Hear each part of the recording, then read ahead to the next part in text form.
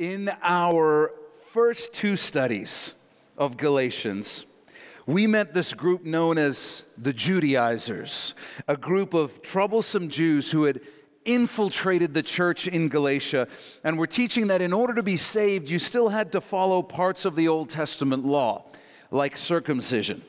The Apostle Paul, in contrast, was teaching the true gospel, the gospel of grace, and the message that it's only by faith in the substitutionary life, death, and resurrection of Jesus that we can be saved.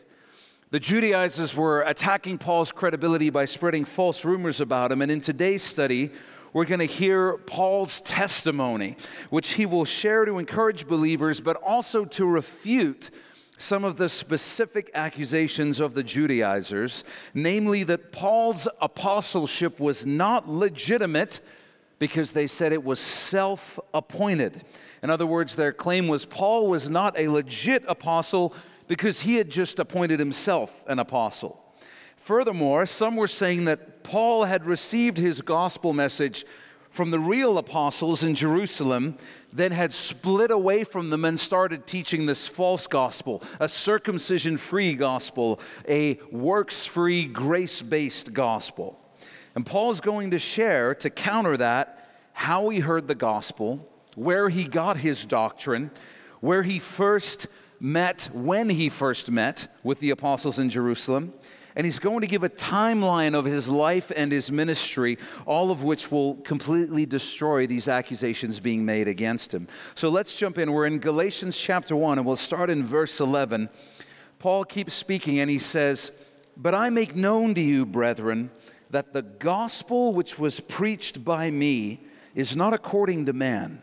For I neither received it from man, nor was I taught it, but it came through the revelation of Jesus Christ. Verse 12 is an incredible claim by Paul. He's claiming that the gospel message that he teaches wasn't taught to him by any other man. He didn't overhear somebody else preaching it and say, I'm going to run with that. Paul's claim is that he was taught by the Lord Jesus himself directly and personally. And Paul tells his readers that the gospel he's preaching has not been altered in any way. Therefore, because this gospel is 100% from Jesus himself, Paul can say with total honesty, this is the true gospel message. The idea is, how do you know? Because it came straight from Jesus. Like one on one, he gave it to me, so I'm really sure. While it took Paul a few years to figure out the intricacies of his theology, the core gospel message was revealed to Paul on the road to Damascus. His understanding that Jesus is God was instantaneous when Jesus revealed himself to him as God on the road to Damascus. He understood immediately that he was the Messiah, that he lived, died, and rose again in our place, and that salvation was through faith in him alone. So, would you write this down? It's your first fill in. Paul's gospel message came directly from Jesus and was received on the road to Damascus. Paul's gospel message came directly from Jesus and was received on the road to Damascus. Paul answers his accusers by saying, I didn't learn the gospel from the apostles in Jerusalem. It was given to me directly by Jesus, and all I've done is faithfully repeat it. And Paul sneaks in a dig at his accusers, actually, when he says, I neither received it from man, nor was I taught it, because all these Judaizers hadn't gained their knowledge of Judaism by reading the scriptures firsthand. They learned by memorizing the interpretations of scriptures that were taught by rabbis. And in this system that was in play in Israel at this time, the rabbis' teachings, the rabbis' interpretations had actually become elevated above the scriptures. Now, no one would have said that, but in practice, that was very much the functional reality of the situation. The things that the rabbis said and taught were considered more important to apply to your life than the scriptures themselves. The idea was, well, I mean, you can read the scriptures, but you might not interpret it correctly.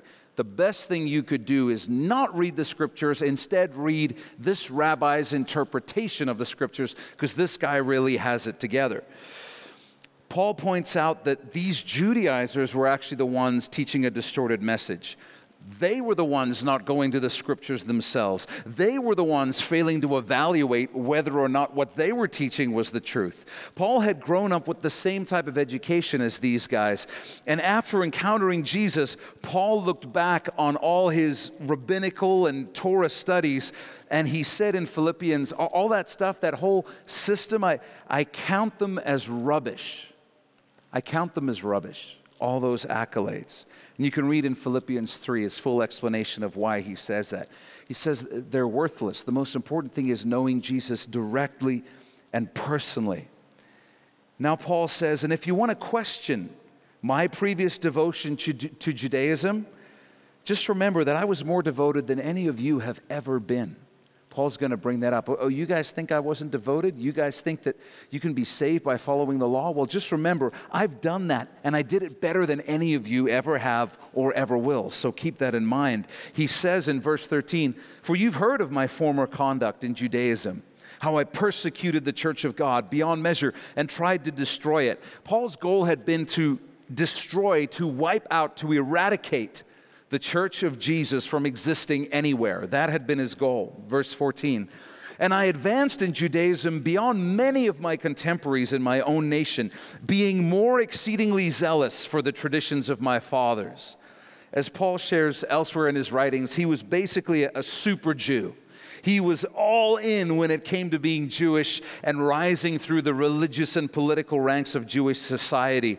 He was zealous regarding his Judaism, which led him to persecute the young Christian church viciously. Let me just read you some excerpts from the book of Acts written about Paul's persecution of the Christian church by Dr. Luke. They're on your outline.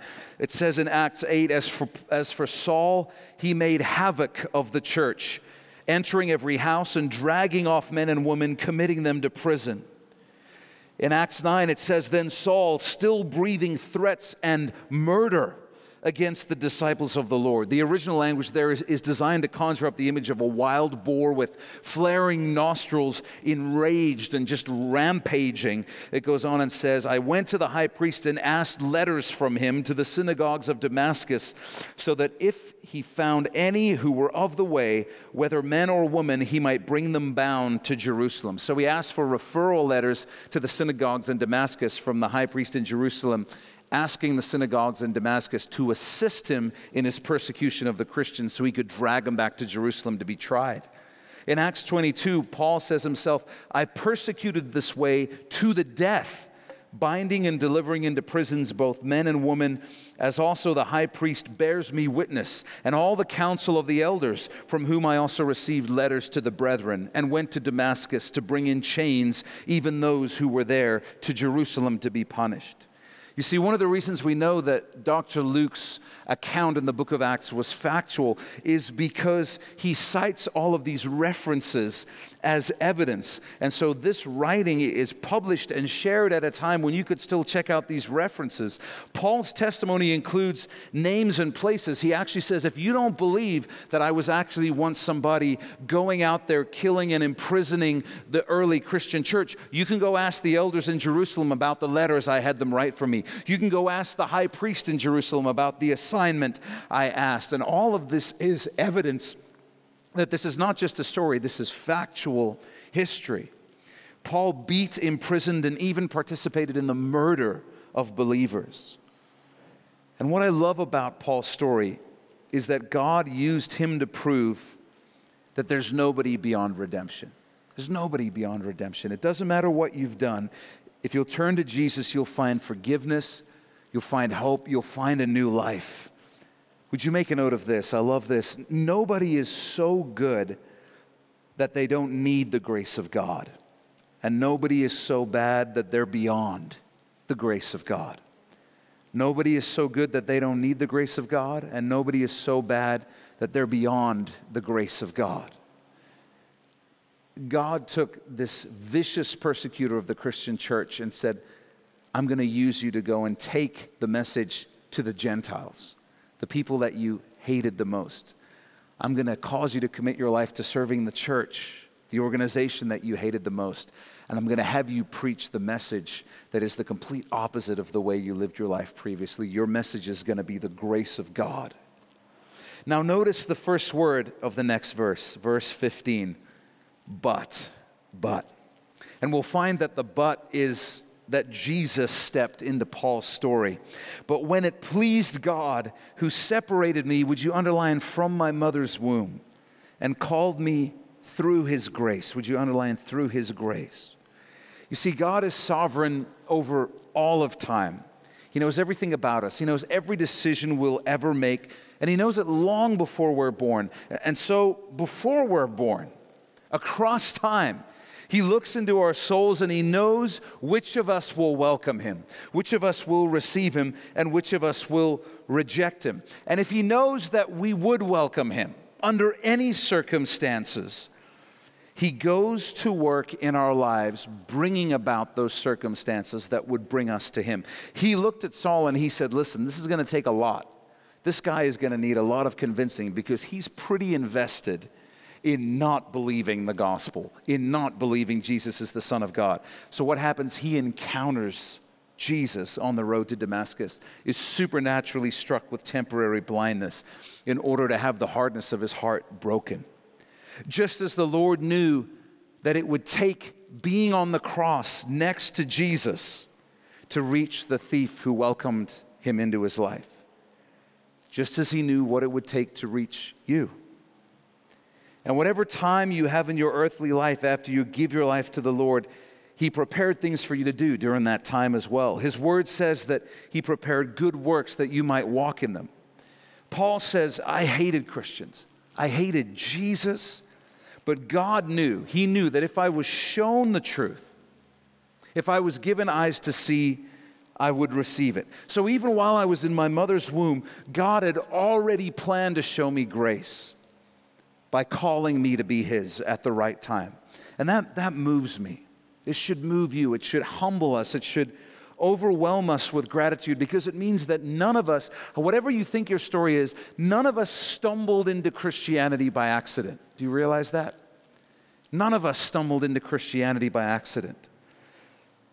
And I think the Lord can't wait for us to get to heaven so that He can reveal to us the full scope of His work in our lives and all the moving pieces, the intricacy of the work that He did to get us to the place and position where He could be revealed to us in a time and a place when we would receive Him.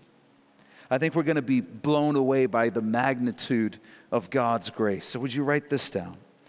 God's grace was at work in our lives before we were even born. His grace was at work in your life, in my life, long before we were even born. It also blesses me because it fills me with confidence to know that if the Lord began His work in me that far back, before I was even born, with that much planning, I can trust that He's put as much or more thought and planning into getting me across the finish line. I can trust that. And He'll do the same for my kids. He'll do the same for your kids. He'll do the same for that loved one that you know is saved but is struggling to walk it out right now. Listen to me. As Paul said to the Philippian believers, He who has begun a good work in you will complete it to the day of Christ Jesus. He didn't just call us and show us grace from the time we were in our mother's womb and even before that, and then say, Well, I guess you're on your own now. He didn't put that much work into us to just leave it to chance. He has a plan for the whole process. That's a promise. That's a promise to believe, to stand on, to pray in thanksgiving, to believe, to hold on to, and to confess. And if you don't believe that, if you don't believe that God is going to finish what He started in you, that He's got a plan, just start thanking Him for that. Start confessing it until you believe it. I don't care if it takes you a hundred times, a thousand times, a hundred thousand times. Just begin to thank Him for that every day until you begin to believe it. And understand that God is working in your life that way right now. Right now, not just before you began, not just at the end of your earthly life, but everything He's doing in your life, everything that He is teaching you, everything He's developing in you right now is for your next level of ministry. Do you know what that is? Do you know what your next level of ministry is? Do you know what God has planned for you next? I do. For every single person in this room who's put their faith in Jesus, I know. I know what your next big assignment is, your biggest assignment coming up. You and I are going to rule and reign with Jesus for a thousand years. A thousand years on the earth when Jesus rules the earth in the millennial kingdom. And so, if you don't think or believe that God is grooming you for a position of great ministry importance, then you haven't read your Bible.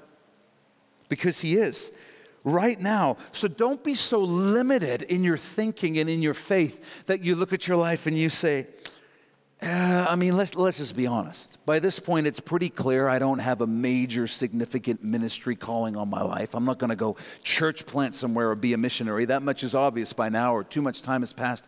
Don't be so limited in your thinking. Remember what the word says, because if that's the way you're thinking, you couldn't be more wrong. God chose you before you were even born. He's working in your life right now to prepare you for the future. Not just the abstract, vague future, but a very specific future in which He has a ministry role planned for you in His kingdom on the earth for a thousand years and assignments that go beyond that in the ages to come. So take your training seriously. Take what the Lord is doing in you now. I don't care if you're young or if you think you're old. See, there, I didn't even call you old. I said if you think you're old, because nobody's old, right? Wherever you are in life, don't think that what's going on right now doesn't matter. Don't think that what God is doing in you right now doesn't matter. If you feel that God is trying to work something in you, don't say, uh, well, you know, I don't really need to grow because, I mean, I'm, I'm more coming to the tail end of things than the beginning of new things. There's eternity in front of you, eternity in front of you.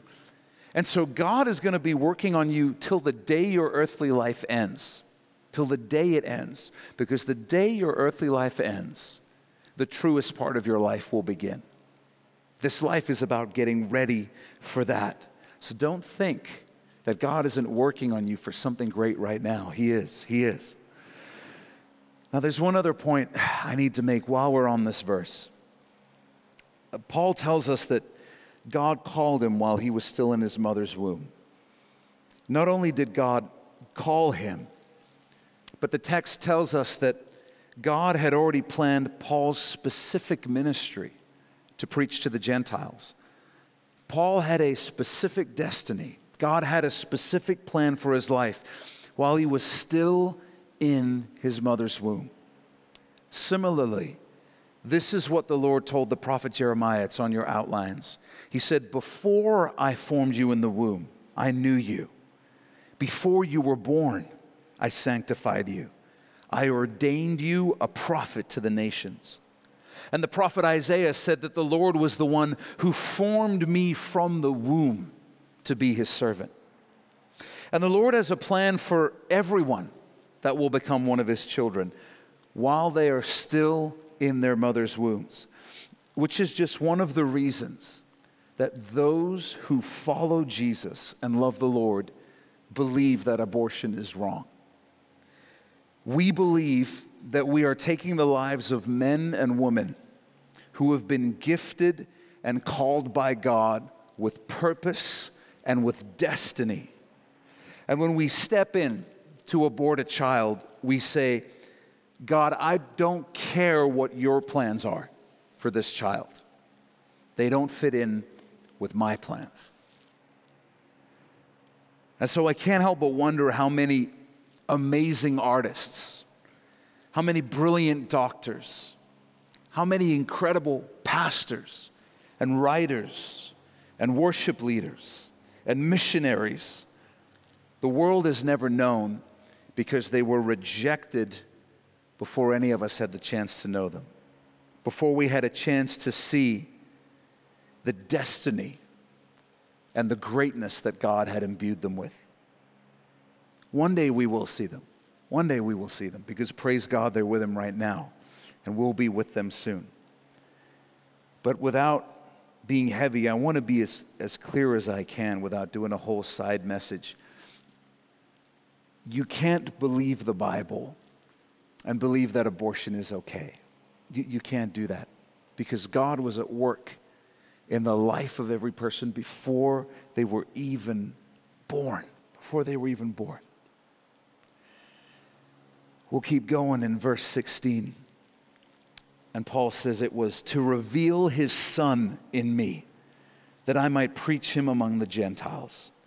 I did not immediately confer with flesh and blood, nor did I go up to Jerusalem to those who were apostles before me, but I went to Arabia and returned again to Damascus. This is Paul telling us that after he encountered Jesus on the road to Damascus, he didn't go and talk about it with people. He didn't go straight to Jerusalem and meet with the apostles. He felt led by God after his sight was restored in the city of Damascus to go deeper into the region of Arabia, the land of the Nabateans, where he stayed likely somewhere near Damascus for about three years. And we assume that in those years, Paul was ferociously restudying the Old Testament scriptures, trying to figure out how to reconcile all of these scriptures with the reality of the revelation that he had just received that Jesus of Nazareth was Messiah, the Son of God. Paul would have known the scriptures inside and out. I'm not exaggerating when I say likely all of them by memory, all of them by memory. But he realized that if he had missed Jesus, then he had been reading the scriptures incorrectly this whole time. And so he had to figure that out. So he studied the scriptures, he meditated on the scriptures, and as he says, the Lord Jesus came and taught him. And the Paul that emerges a couple of decades later in letters like this letter to the Galatians in the New Testament of our Bibles is a Paul who is a theological beast who understands all the places that Jesus shows up in the Old Testament scriptures, how all the prophecies and all the pictures in the Old Testament fit with what Jesus has done and who Jesus is. I think there's a little bit more behind why God called Paul out into the relative wilderness of Arabia. You know, for most of us, seeking the Lord is hard, if we're honest. Waiting on the Lord for more than 30 seconds is hard for most of us. Talking to the Lord is, is hard. That's why there's things that we struggle with that we've shared with other people but haven't even shared with the Lord yet. That's why there are sometimes things that we've asked other people to pray about, but we haven't even prayed about them yet. And I think it would have been, in some ways, very easy for Paul to just go to Jerusalem and start having theological conversations about all of his questions about the Old Testament instead of seeking the Lord himself. For most of us, we'd take talking to a person about theology over seeking the Lord about theology. And Paul was a passionate guy. He would have easily gotten embroiled in heated debates and the infinite number of conversations he could have had in the academic center of Judaism, which was Jerusalem. But the Lord wanted to speak to Paul directly, so he got Paul away from any real potential Jewish audience. Maybe you're feeling lonely or isolated in the struggle that you're going through. Maybe you feel like there's no one around to talk to. Perhaps that's because the Lord is calling you to speak to Him. Perhaps the Lord is remo- removing all those other options so that the only option is to do the thing that you should have been doing all along, which is seeking and waiting on Him. You know, that, that wilderness place, that place of isolation is a great place to meet with the Lord free of distractions. Paul was also a classic overachiever, classic go getter, and it must have driven his natural self crazy to be learning all this incredible information about the scriptures, getting all this revelation, and, and yet having no one to really share it with. The Lord was teaching Paul about the importance of operating according to his timing. The Lord was teaching Paul that he'd be ready when he said he was ready. The Lord was teaching Paul, hey, Paul, I know you used to just be running around like a, a chicken with its head cut off, trying to do as many good, righteous works as you could as possible, but, but in a relationship with me, that, that's not how it works. In a relationship with me, you focus on me, and then the good works come naturally. You go and do the things that I lead you to do, moment to moment. It was a vital lesson for him to learn. It's one that we need to learn sometimes in the wilderness too, just how to wait on the Lord's timing. Paul also had been earning plaudits his whole life. He'd been the star student, the, the prodigy of Judaism. He had been applauded and commended and recognized every step of the way. And God gave him three years away from Jewish culture to be broken of that need that he would have developed for recognition.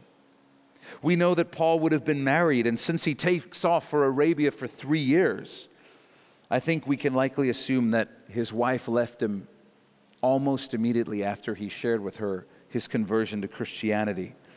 Paul would have needed time to grieve as well, time to work through all those emotions. And sometimes that wilderness time and place in our lives is so that God can break us and free us from the things that are not good for us, like our need for approval, our need for recognition, our need to be in a relationship, our, our need to appear as though we have it all together, our concern about what others think of us. Because when you're in the wilderness, when you're in isolation, nobody cares. Nobody cares. And sometimes that's exactly what we need. It was what Paul needed. And sometimes the only way God can get us ready to receive revelation is by removing all those distractions. Sometimes we say, we say, Lord, I just need a word from you. I'll wait. Okay, that's as long as I've got. Let me just check Instagram real quick on my phone. And so sometimes the only way to get revelation is to have all those distractions removed. Just ask John the Apostle. John received probably the greatest revelation of all, the book of Revelation. And where did he get it? When he was left to die on the island of Patmos. Nothing else to do. Oh, good, John. Now you're finally going to slow down enough to hear me about this. So, would you write this down? Sometimes the Lord uses isolation to free us from distractions, liberate us from unhealthy dependencies, draw us closer to Him, and give us revelation. And give us revelation. If you're in a wilderness place or time in your life, it's likely because God is trying to get your attention. And let me encourage you to give it to Him if that's where you're at. I guarantee that there's something He wants to do in you. So, Paul tackles the accusations against him by presenting a timeline. He persecuted believers, was saved on the road to Damascus when he encountered the Lord Jesus. Then he goes off to Arabia for three years before returning to Damascus. He's giving his whereabouts during that time and inviting them to check his story with the apostles in Jerusalem. He's making the point that he was a believer and would have been even sharing the gospel with people in Arabia for years before he first met with the apostles in Jerusalem. So he couldn't have heard the gospel from them. He got it from the Lord. He got it from the Lord. Verse 18 Then after three years, so after that season in Arabia, I went up to Jerusalem to see Peter and remained with him 15 days. But I saw none of the other apostles except James, the Lord's brother. Now, concerning the things which I write to you, indeed, before God, I do not lie.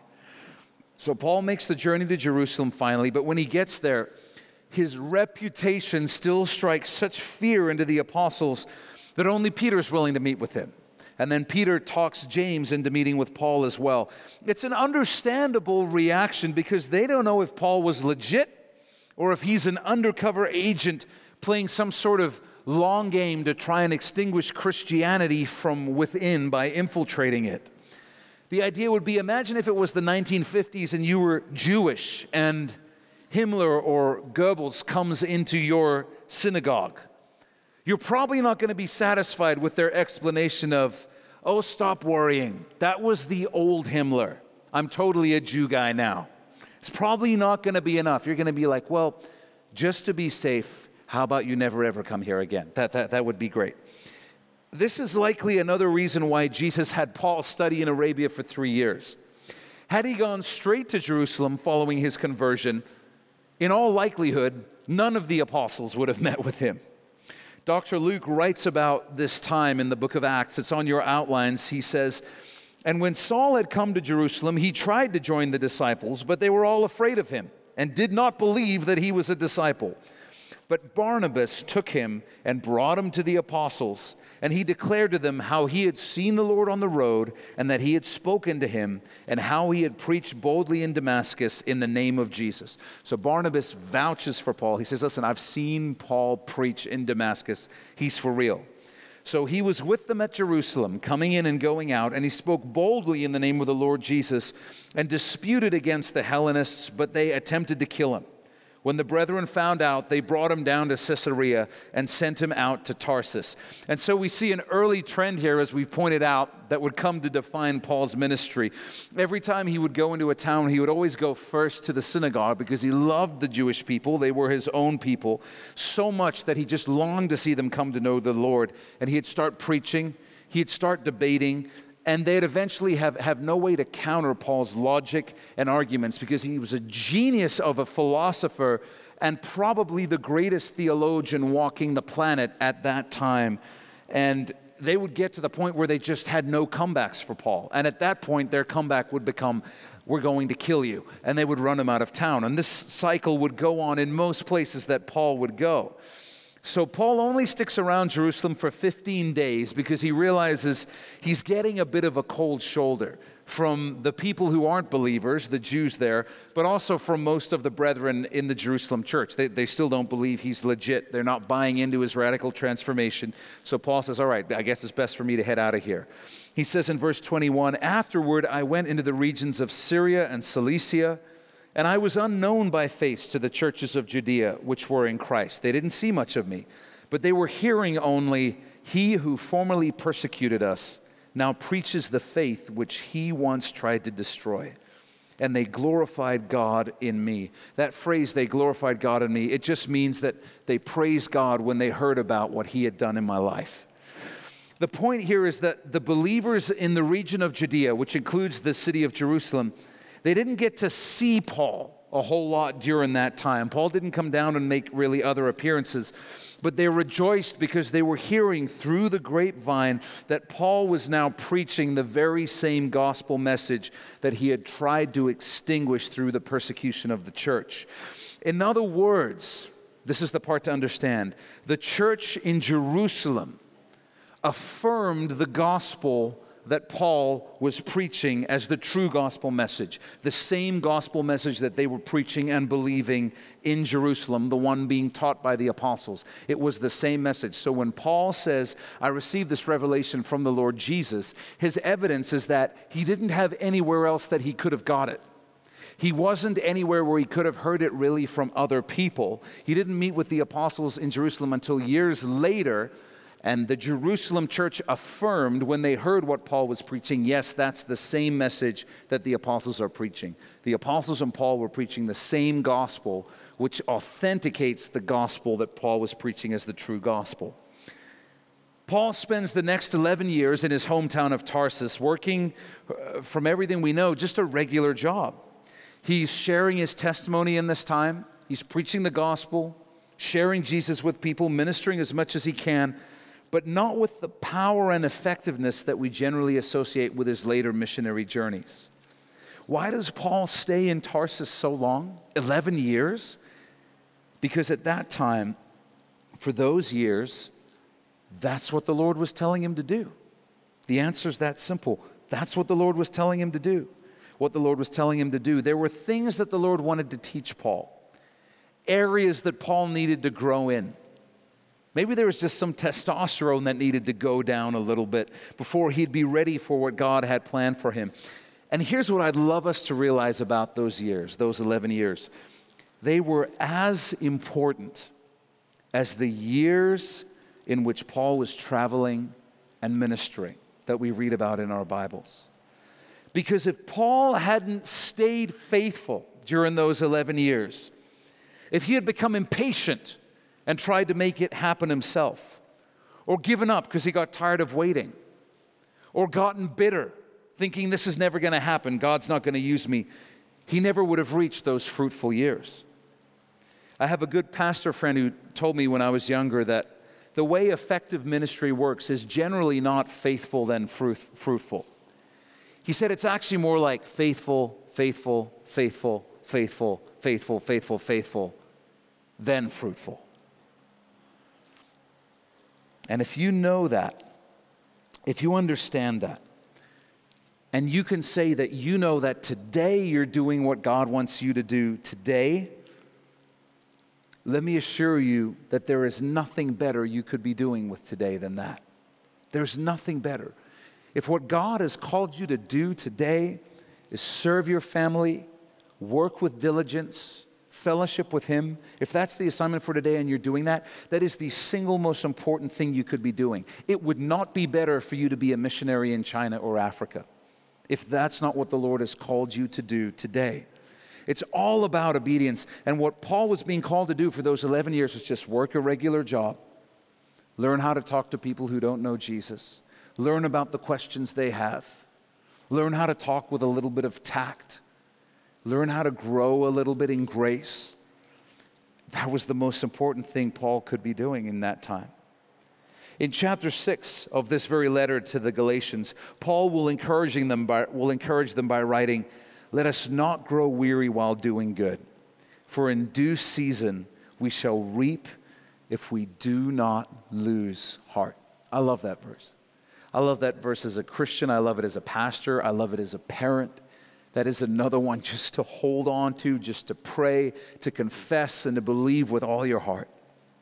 And next week, we're going to hear about how God sent someone to find Paul and bring Paul to the place where his ministry would almost overnight become incredibly effective. But it's going to happen after three years of seemingly fruitless ministry in Arabia and 11 years of barely fruitful ministry in Tarsus. That's 14 years of training, waiting, and growing between the time Paul met Jesus on the road to Damascus and said, Hey, I'm sending you to the Gentiles, and the time that God decided Paul was actually ready to step into that assignment. 14 years.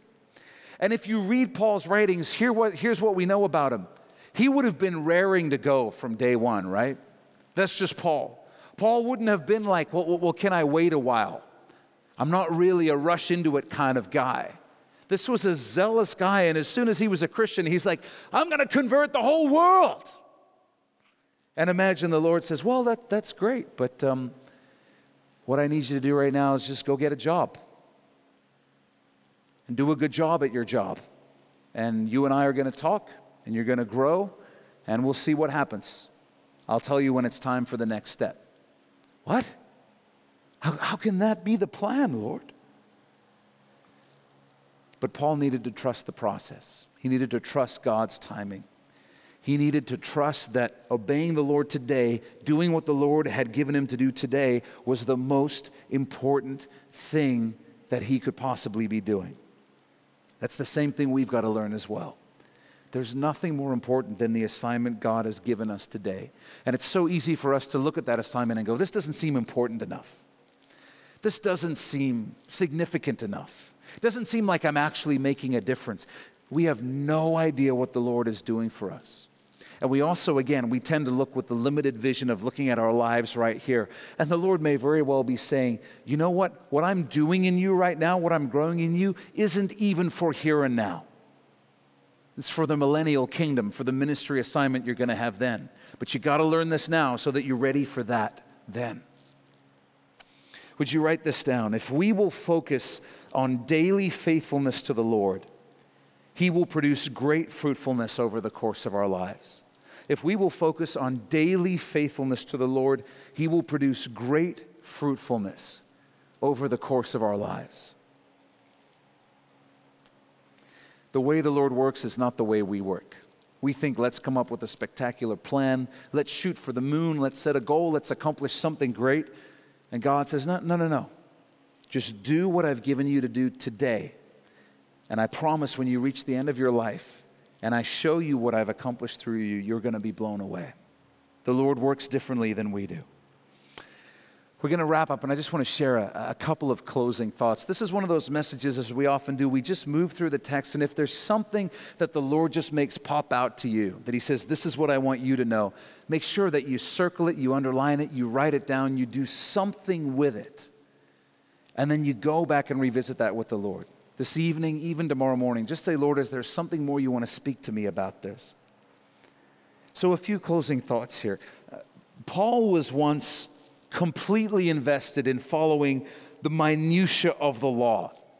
His zeal for Judaism was practically unmatched. And, and all of us know from observing others and ourselves that the more we invest in something that is a lie, the less open we become to considering the truth. Somebody once said it's far easier to fool someone than to convince someone that they've been fooled. Because the cost would simply be too high the more we invest in something that is not true, the less likely we are to give it up, even when it's revealed to us to be untrue. Perhaps you know someone like that. They're, they're fully invested in another belief system, or the pursuit of happiness, or financial or career goals for their life. And they seem unreachable and completely close to the truth because they're so convinced of this other system, this other belief, this other goal in life. And you know what? Right now, they might be completely unreachable. They might be completely closed to the truth. But I want to encourage you with this quote from John Stott about Paul, back when Paul was the zealous Jew known as Saul. John Stott said this He said, Now a man in that mental and emotional state is in no mood to change his mind or even to have it changed for him by men. Only God could reach him. And God did. God did. When a person is closed to the gospel, let me encourage you keep praying for them. Keep praying for them. Don't give up. If they're that person where you say, man, the only person that can reach them is God, if that's true, then He will. He'll do it. Keep praying. Paul's answer to his critics was essentially I'm an apostle because Jesus revealed himself to me. Jesus personally taught the gospel to me and then proceeded to personally instruct me in the scriptures in Arabia. And then Jesus himself called me to become an apostle, a fact that was affirmed by the other apostles in Jerusalem. So, to be an apostle, uppercase A, you had to have seen the resurrected Jesus and you had to have been commissioned, called to ministry by him personally. And Paul had both of these experiences. He encountered the resurrected Jesus on the road to Damascus and was personally called by the resurrected Jesus to ministry to the Gentiles. But you know what?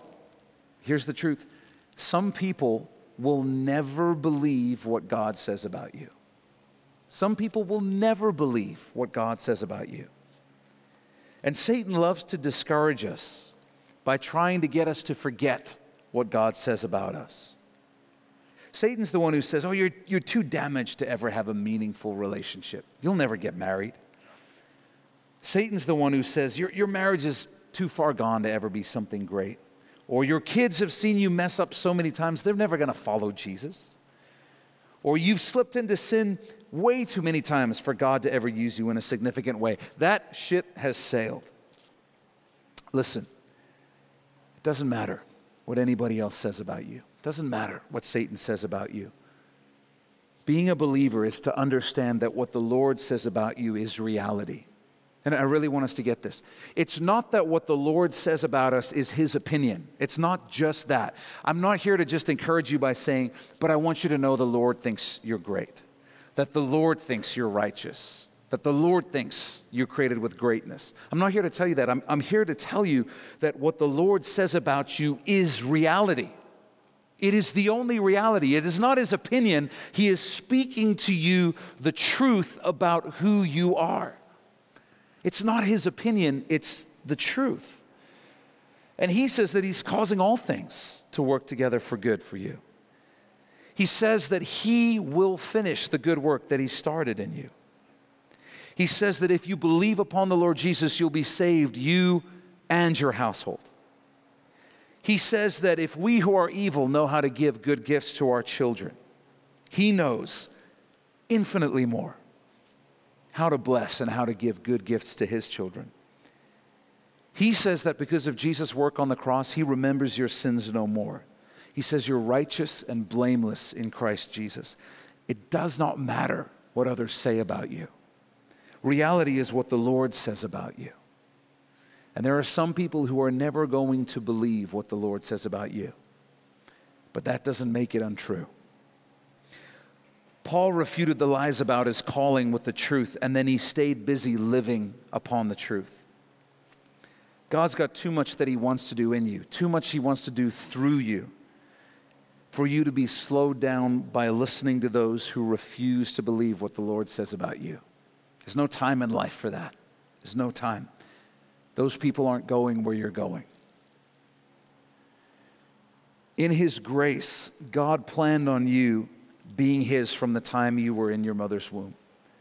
He planned to reveal Jesus to you so that Jesus could be revealed in you.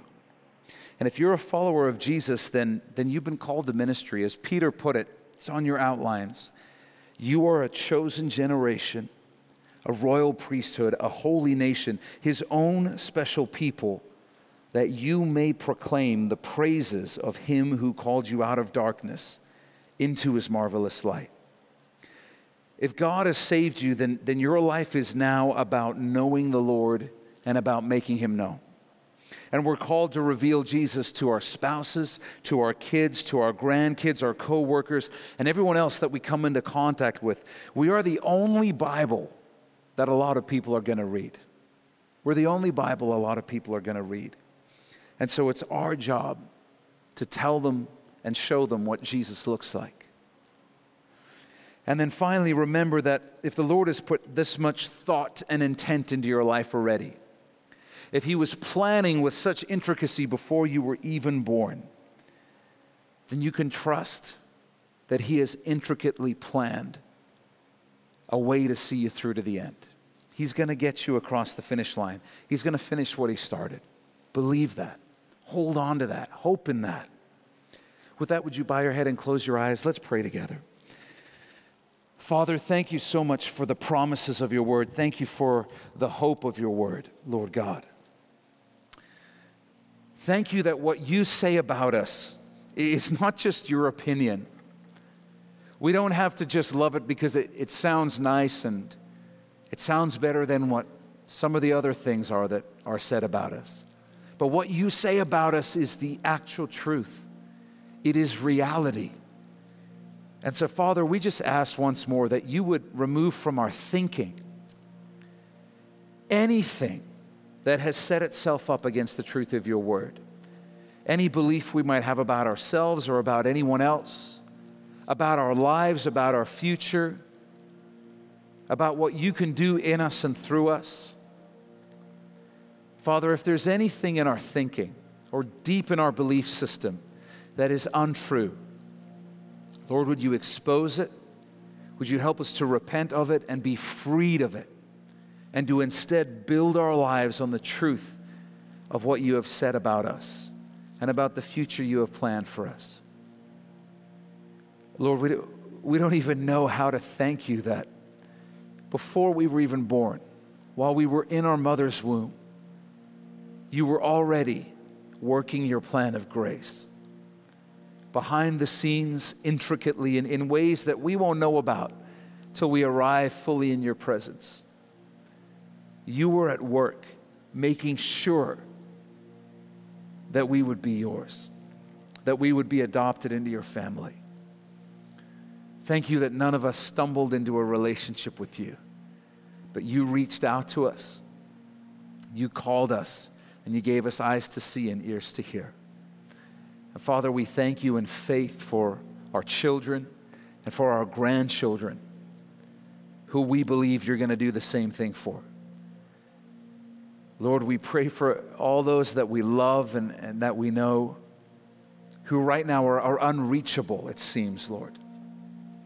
And we thank you in faith that whatever circumstance it's going to take to really reach them, Lord, if there's any way for it to happen, you're going to do it.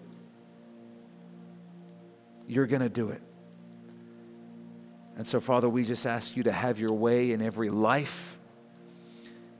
And Lord, give us ears to hear what our part might be in any of that.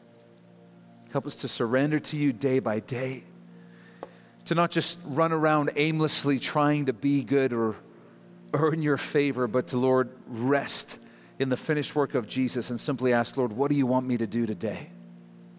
What do you want me to do at work today? Who do you want me to talk to?